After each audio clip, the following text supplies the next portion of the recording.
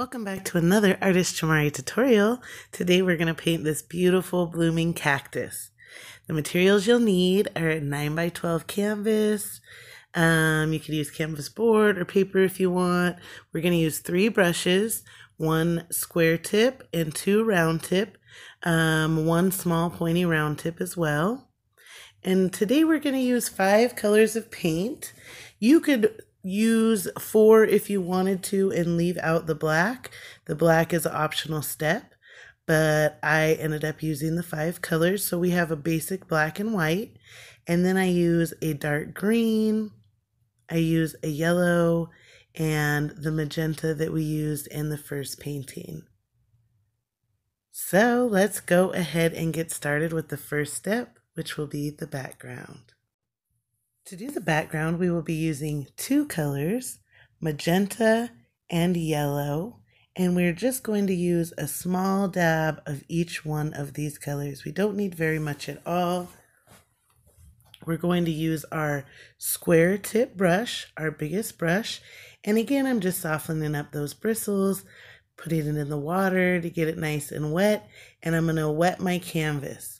Now, I didn't say this in the last video, but if you're using paper, you do not need to do this step. This is a step that you can skip. But if you're using anything with canvas, this is a step I suggest just to help the paint move a little bit smoothly.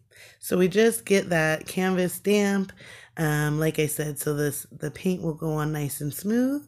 And first I'm going to go in with my magenta and I'm just loading my brush up on both sides and I'm going to start at the bottom of the canvas and I, you see that I'm stroking left to right instead of up and down. I'm going back and forth and you're just going to pick up paint um, and stroke that paint on there going back and forth loading it up about halfway up the canvas. And I'm just going to continue to load that brush up with paint, go back and forth. It's okay if there's streaking or whatever. Right now, I'm just trying to get the color on the canvas. I'm also not worried about doing the sides at this point. We're just having fun. This is like I said in the last video where we start to get those creative juices flowing and we start to get in the, the um, feel of painting and get that excitement going and the fun started. Um, so, and we, we're not stressing out about doing anything particular. We're just starting the creative process. So like I said, I'm going to go about up halfway up my canvas, or if you're doing a piece of paper, do go up about halfway. And then I'm going to switch without washing my brush. There I'm just kind of wiping the edges simply because there's a little bit of buildup with that water along the edge. But I'm going to go into my yellow next without washing my brush. And here I'm just kind of working that magenta back and forth. You see me go in directly without washing my brush and I go over the top of the magenta at that middle line because we're kind of creating a sunset type feel, right? If you look at that painting, that's what the background um, it's supposed to kind of represent as a sunset, the beautiful sunsets that the, the desert gets, especially in the spring. So again, without washing my brush, I'm just loading up with yellow, which mixes with the magenta that I already had in my brush to make orange. And I'm just loading that right, going up from that middle point. And I might mix a little bit of the orange right there, a little bit below it, just like sunsets sometimes have the colors mixed in together. So I'm kind of doing that there. And once I like the effect, I'm going to wash my brush really thoroughly to make sure I get all that magenta out.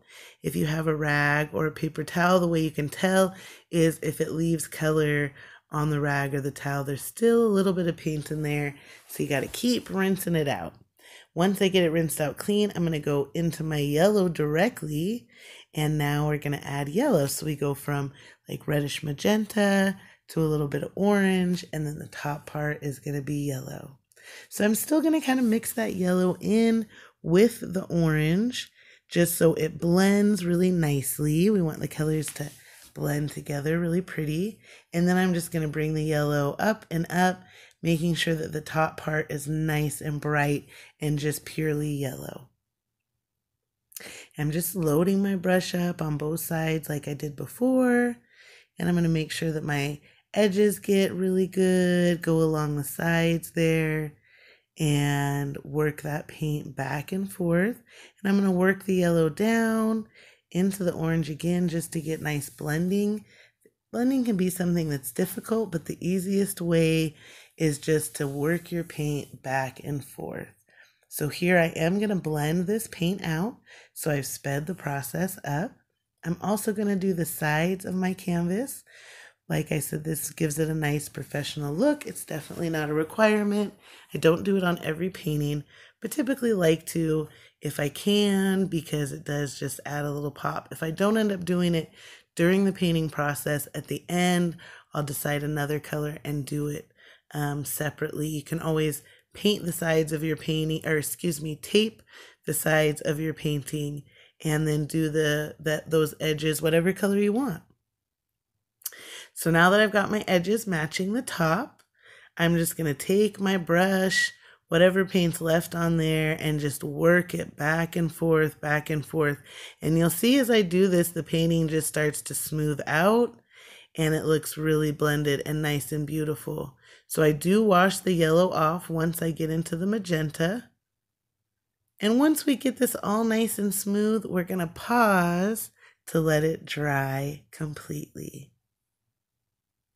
So, something fun that you can do while you're waiting for your painting to dry is get up and dance. I'm always, almost always playing music while I'm creating, and it's good for me and my body to get up and shake it around. Here's my little dog singing to the music. So, get up and shake your little booty while you're waiting for that painting to dry. Free up yourself, shake up your joints, sing, and have a great time. That's what this is all about. Step two is going to be creating our cactus pads. The colors we're going to use is mainly our dark green. I'm also going to use a little bit of white and a little bit of yellow to add some highlight and shadow as I'm doing this. But I'm going to start with my green and I'm also going to use my big round tip brush. So I'm just softening those bristles like I always do, kind of wet it mix a little of that water in with my green to create a wash because first we're going to uh, mark out where we want our cactus pads to be and that's always easier with a wash. We make a wash by mixing the water from our brush in on the edge of our paint dollop to get a nice soupy consistency. We can then use that to draw or sketch more with our brush. You see like that, it gives us a nice smooth um, fluid motion when we're trying to put where we want things to be. So here I'm just kind of eyeballing where I want my cactuses to be. If you want yours to be in a different place or you'd like more or less of them, this is your creation, your time to really have fun. So create create as many or as few of these cactus pads as you like. I'm just kind of darkening these lines as I decide that I like the placement. I like how these two kind of go together. When you're designing your canvas, it's always good to just kind of take a look at the bigger picture. It's easy to get caught up in the small details. So I just take a minute as I'm doing these different things to kind of see where it will look the best. And if you make a mistake, remember you can always wet your brush, wash the green all the way off use the water from your brush and just scrub those lines off. Or you can use a spray bottle with water in it and wet the area that you want to wipe off and use a napkin or rag and just wipe it off. But once the acrylic paint dries, it is there for good. So I'm just taking my green paint. Here I'm going to add my dollops of yellow and white like I talked about in the beginning. But I'm just taking my dark green paint and I'm going around the outside edge of my cat of my cactus. And you'll see that we we're going to create shadows and highlights as we make this these cactus pads, which makes them very beautiful. And so a part of the process that I'm doing here is creating some of those shadows and highlights, layering the acrylic paint like we talked about. The, the acrylic paint is great to layer, to create, to create beautiful effects. So I'm just going to continue with my large round tip brush going into that straight dark deep green and going around the edge. Here I'm just doing a little live video on my Instagram as well. And I'm just going to thicken those up. Um, I'm just eyeballing it. Sometimes I'm putting a few little lines in the middle and uh, we'll continue that later. Here I'm just mixing in some yellow and some white into my green and you'll notice it gives it different a different shade there and that will create like we talked about the base for our shadows and our highlights so I go around the outer edge with a darker green and then I mix my white and my yellow in to create a lighter brighter green and I put that in the middle section and I go around each individual pad and even on the edges, and I fill in with the lighter green part. Here I've just sped through this process so you can see it in a more timely manner. These are times when I'm speeding it up that you should most likely be slowing down, taking your time, and really making sure that it looks pretty. Oh, I got a little paint on my outfit, on my splattered on my jacket. So I just took a spray bottle, sprayed it with some water, took a rag, and wiped that right off. So I'm getting back to my pads here, and just as each pad that I do to get a kind of a different color, I remix the paint. So I have a section of the darker green, and you see I have the section where I mixed the yellow and the white in. And as I pick up to do each pad, I, I mix that around so that each pad has a little bit of a different shade. They're not all exactly the same. So you're going to mix your paint around, fill those all the way in.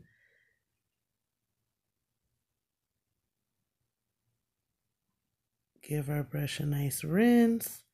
Now I'm just going back with the darker green now that I have the insides of those pads filled in. And I'm just darkening those outer edges a little bit. This is where we talk about the layering process. We did that once. Now we're going to do it again. And this just makes sure that it, you see how it already gives it that kind of 3D looking effect because of the shadows and the highlights. I want to make sure to bring those around my edge and make sure all of my edges where I have the pads showing are filled in really beautifully. And I'm just kind of going back with the darker green, making sure everything's filled in. When you're using canvas, sometimes air bubbles and things can leave spaces where the canvas is still showing, and you never want any of the canvas to show. You want to make sure all of those areas are filled in. Now, once we finish this, it's a pause and let dry time. You know what that means. Let's get up and dance.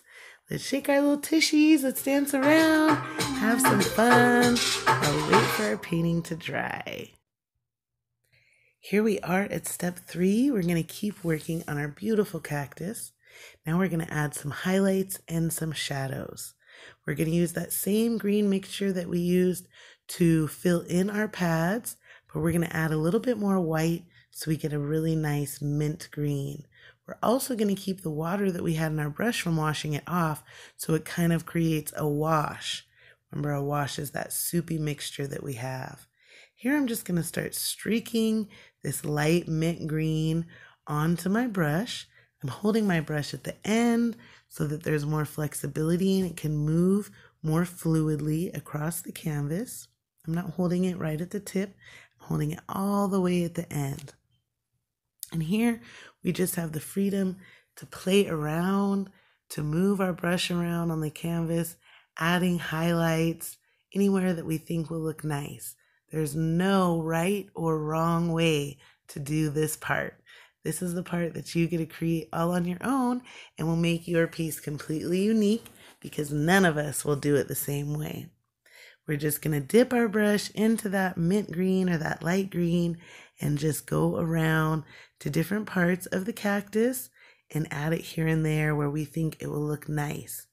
This is where you get to be a true creator and a designer and design your piece. however you want to do it. And I'm just loosely taking my brush, holding it at the very end, and filling those lines in. I'm speeding up the process here so you can see it a little bit faster of how it looks. Like I said, there's no right or wrong way to do this. You just add those highlights wherever you think it will look nice. You can kind of decide what areas would be more hidden by shadows, what areas would be facing the sun or kind of stand out more.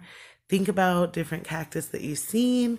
Where are they fuller and where are they thinner? Where are they sticking out?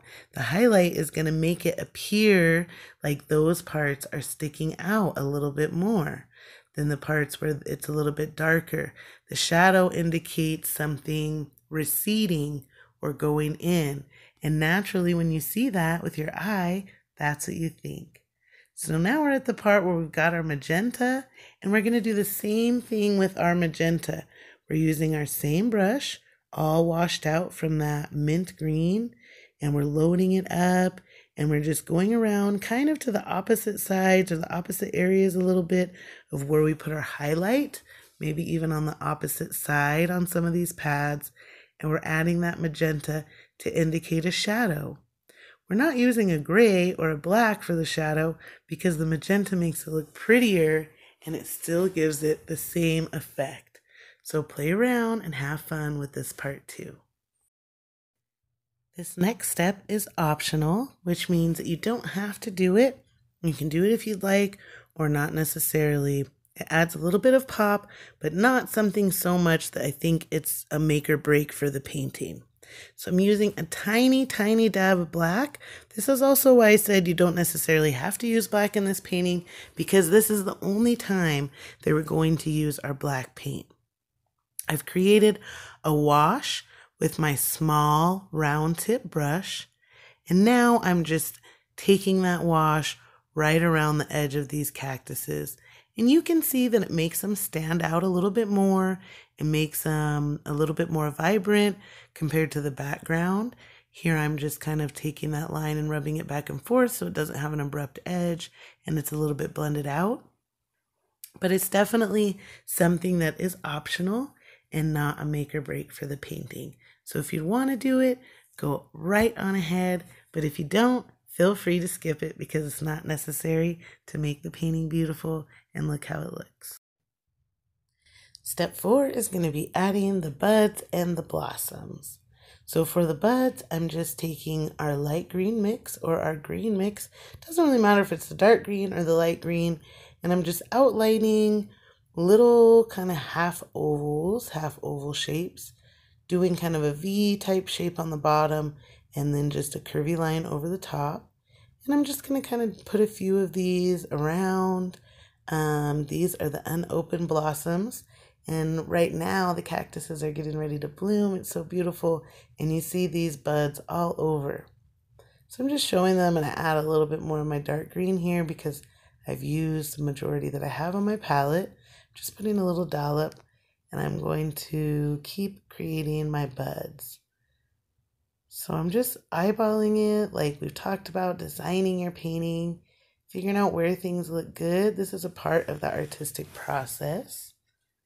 We don't want to put too many buds on here because we're going to put a few blossoms as well. We don't want it to be crowded or overloaded with flowers. We want it to look balanced and nice.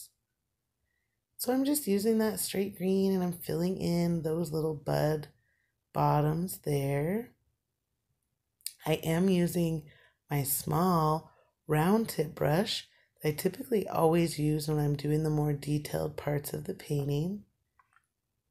If you don't have a round tip brush, you can always use a square tip. You just want to make sure that it has a sharp edge and isn't all fluffed up. So one by one, I'm just going to kind of go and fill these in. Because I've put two together here, I'm going to um, do one, the one that's behind a little bit darker, and the one that's in front, I'm going to do lighter. Here I'm just adding a little bit looking like they're going off the canvas to give it that balance that we talked about and bringing it around the edge here. These are just little details that as you become a better, better painter, you love it more, you do more art, you know makes your painting pop, and so you decide to do it just to give it that look. But in the beginning, it's definitely not necessary and something that I didn't do for a long time. Um, here, like I said, I have those two buds together. So one in the back I used my dark green and then the one over the top I added a little bit of white so we could see the difference and see how one kind of stands out against the other. It's that simple, just adding darks and lights together sometimes in painting makes all the difference. So now I'm going to go in with my magenta. I've cleaned all the green out of my um, small round tip brush and I'm going to go into my, my magenta and add the flowery colorful tops to these little buds. Just really making sure I get all of that green paint out, doing the same technique I showed you before, rubbing it against a rag to make sure it's all out. And now I'm just going to put little rounded tops where the blossoms stick out of the bud on the, the cactus blossoms there. This isn't difficult at all. It's almost like a half circle that we're doing on top of our little V cup budlet there. I'm just going to go around one by one and add this magenta top. I'm really loading my brush up with paint because the magenta can be a little bit translucent, which means it is sometimes see-through. You need a lot of it to cover some of those darker green parts. So don't be afraid to load your brush up with a big scoop of paint to add those buds on. It'll also give it texture when it dries if in not all of the painting in some of the areas you use large amounts of paint, when it dries, it gives it really beautiful texture. The art collectors and fans of art, we really love to see those types of things. So again, like we talked about in other videos, you can always move your canvas around to get those angles that are a little bit difficult. Now what I'm doing is I've loaded my brush up with magenta paint I'm holding it at a point, creating a V and pulling those um, little petals out. Start with a V and then I just go around and around and I'm just firmly pushing, dragging my brush down in a curved fashion. And I go around and around in a circle and it creates a little um, cactus flower. This is back to the designing stage of the painting figuring out where do you want these blossoms to be? Where do you want the ones that have opened to be at?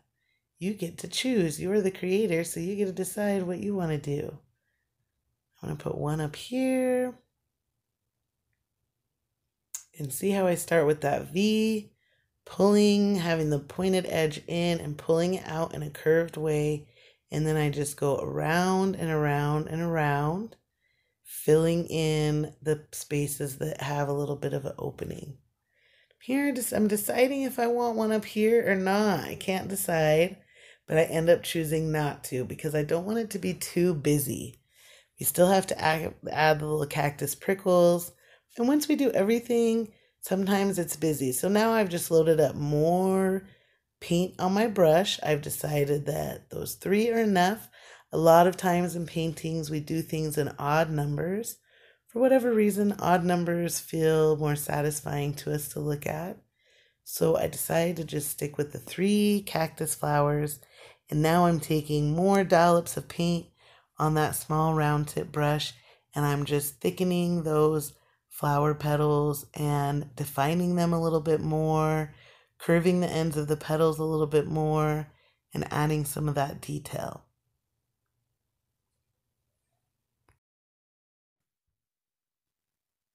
So here I'm just speeding up the process of really filling in those blossom petals.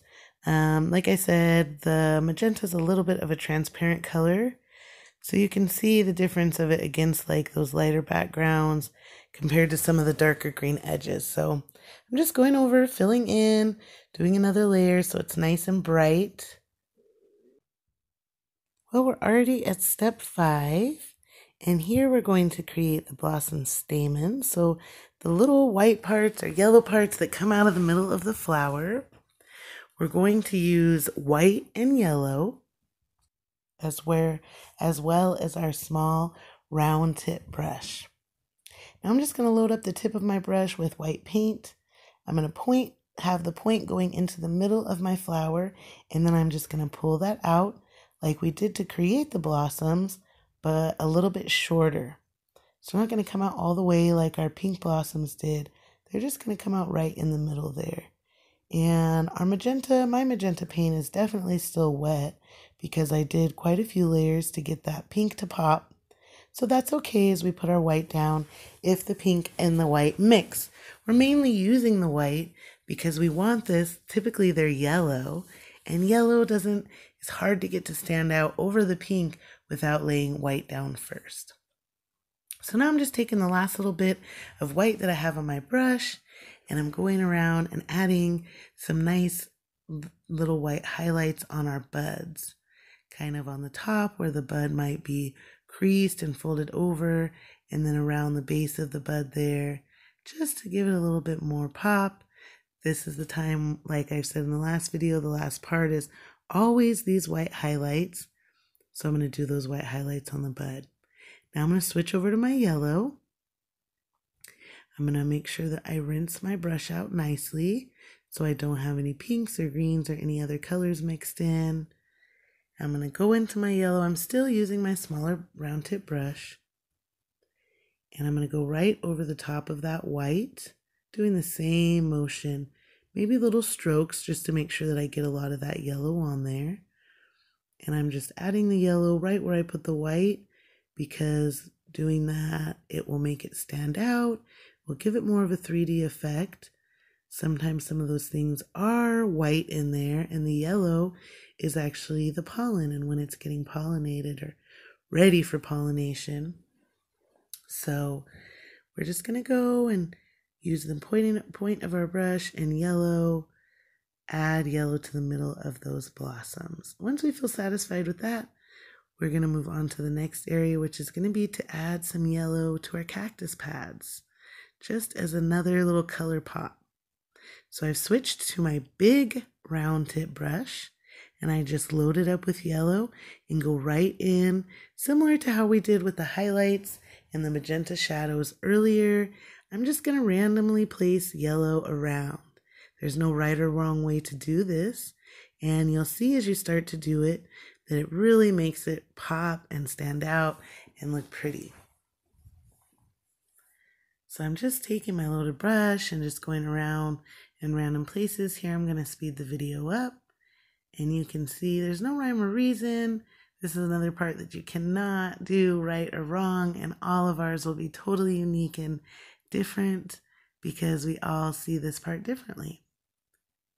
So I'm just taking a little bit of my darker green and I'm just going to kind of touch up. I'm going back and forth between yellow and green and adding highlights. Here I'm picking up my magenta. This is going to be the last work that we do on these cactus pads. So that's why I'm just kind of adding any more colors to really make them stand out, be vibrant and eye-catching. So the last step that we do, that's all done. Remember, we're working in layers. So once I started to put on that yellow, I realized that against the magenta, it, the magenta wasn't as bright as I liked. So I just am taking my same big round tip brush and I'm just adding a little bit more richness to the areas on the cactus pads where I had the magenta color. Maybe I'm putting a little bit more in some other places that it wasn't there, adding a little bit of shadow there under the flowers. Um, but it's just looking at it, deciding where you think it will look nice, playing around with it. This is all about play and fun. And I like how it looks, so I'm going back to my petals and I just decide to thicken those up. Wow, we're already to our final step, which is the white detail. Like I said in my last video, almost every painting, the white detail is going to be the last thing that we do. So we're going to go back to our small tipped round brush, small round tip brush, and we're going to use a dollop of white. We need for our point to stay sharp during this, so as I pick up my white, I'm going to be rolling the brush back and forth between my fingers to get a nice sharp point. And then I'm simply going to start putting little V's all over my cactus. Now with this, you can put as many or as few as you like. This is again the designer, the artist preference. I'm kind of just playing around on this first one, seeing how it looks. I always like to keep play in my paintings.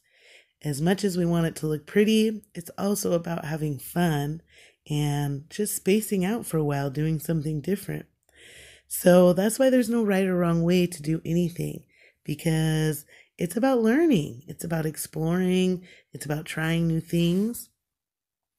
So with this, we can see that our paintings really come together. We start to add these little cactus prickles all around, and we can really see what we were starting to design. It's amazing how these last little detail points really make the painting come together.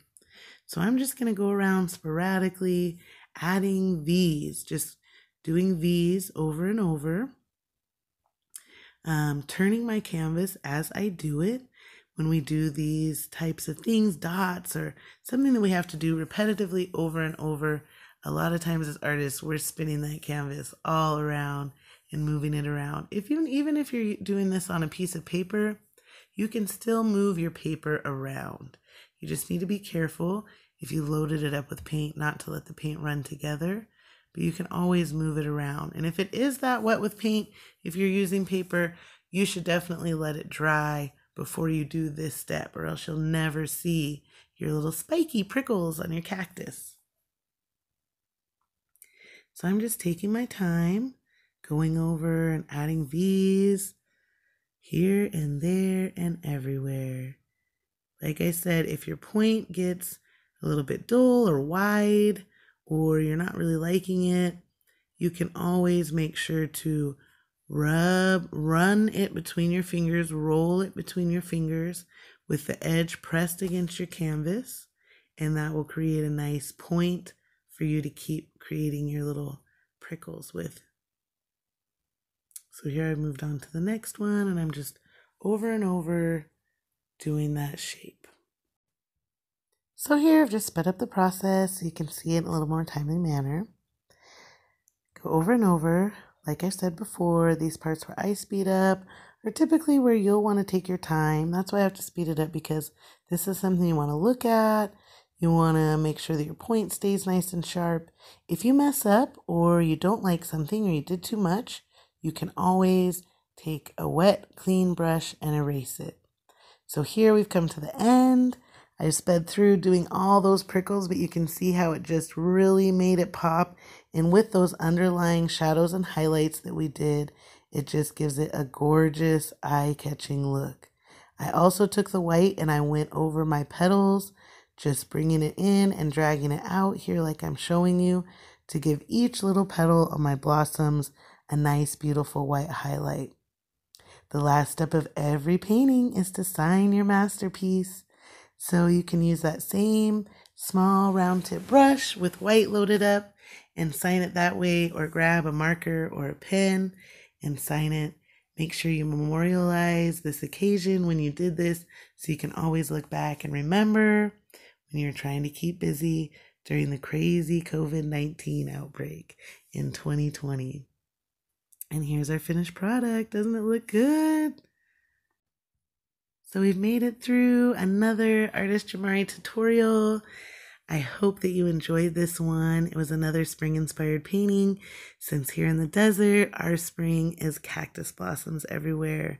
I think this piece came out spectacularly. I hope yours did too. I would love to see examples if you did this at home. Thank you for joining me. Stay safe, stay healthy, and blessed.